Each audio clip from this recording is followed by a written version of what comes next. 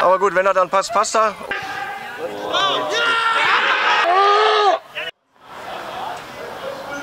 Ja, Junge. Jawohl! Komm, Spiel rein, Tim, wie war dran? Nein! Ja, hallo, wir haben hier auf der rechten Mark Holtkamp, auf der linken Shinda Mohammed, die sportlichen Leiter des westfälischen Landesligisten SV Eidinghausen-Berste, richtig? Richtig. ähm, ihr habt jetzt vier Spieler verpflichtet vom VfL Bückeburg. Äh, wie ist es dazu gekommen, Marc?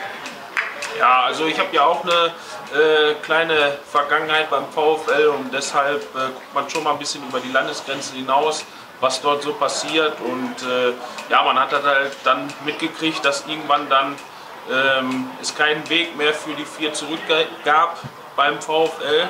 Ja, da habe ich mich bemüht um die Nummern ja, und dann äh, kam der Kontakt zustande. Ich habe sie mal locker eingeladen, sollten mal ein bisschen mittrainieren, ja, die anderen Jungs kennenlernen, einen Trainer sprechen. Wir wollten uns natürlich einen äh, kleinen Einblick verschaffen ähm, und äh, ja, dann haben die Jungs sich schnell dazu entschlossen, ähm, zu uns zu wechseln.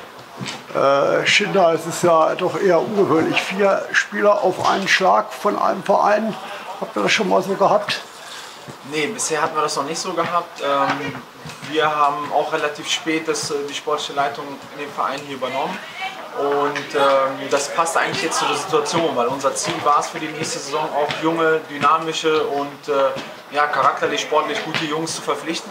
Deswegen kam das auch ganz gut vom Zeitpunkt her. Wir machen jetzt schon die Planung für die nächste Saison und es passte tatsächlich sehr gut rein. Und ähm, deswegen sind wir super glücklich, dass es geklappt hat, weil es auch sehr viel Positives gab von den Jungs. Sie haben sich super präsentiert, sie haben sich gut eingebracht und äh, die sind, denke ich mal, auf dem Platz, neben dem Platz gute Jungs und deswegen genau sowas suchen wir auch für die Zukunft und von daher sind wir glücklich, dass es geklappt hat. Wie sieht denn die nähere sportliche Planung aus? Also jetzt die nächsten, sagen wir mal, ein, zwei Jahre. Ja. Also das Ziel ist jetzt erstmal die Klasse zu halten. Dadurch, dass wir einen kleinen Umbruch auch hatten im Sommer, äh, wollen wir natürlich erstmal die Klasse halten. Bei fünf Absteigern ist es schon schwierig. Ähm, aber wir sind guter Dinge, wir stehen aktuell ganz gut da und für darauf das Jahr möchten wir schon ja, im Mittelfeld angreifen. Wir wollen dann nichts mit dem Abstieg zu tun haben und dann im Mittelfeld angreifen und äh, ja, den Trend weiterhin hochhalten. Ne? Marc, wie passen die vier denn da in das Konzept? Ja, also vom Ehrgeiz her, charakterlich, menschlich, diesen Eindruck, die die jetzt die kurze Zeit hier hinterlassen haben, ist schon top. Ja, die Jungs sind leistungsorientiert, wollen äh, Fußball spielen, leistungsorientiert Fußball spielen und ich denke, dass wir hier den Jungs ein gutes Konzept äh, vorlegen konnten und äh, ja, sind froh, dass die Jungs dann letztendlich zugesagt haben. Gut, alles klar. Dann wünsche ich euch bei all euren Plänen für die Zukunft viel Erfolg. Vielen Dank. Und äh, ja, wir sehen uns bestimmt mal wieder. Dankeschön. Danke.